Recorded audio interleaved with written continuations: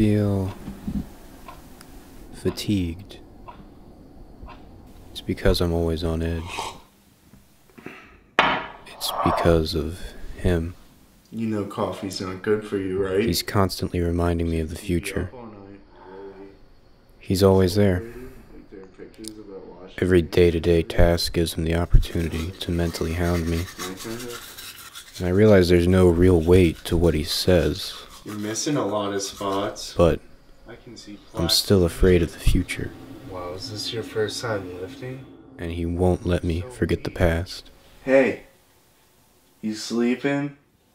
Hey, remember that one embarrassing moment when you like asked out that girl, but she absolutely hated you and it was like really awkward and all her friends were laughing at you?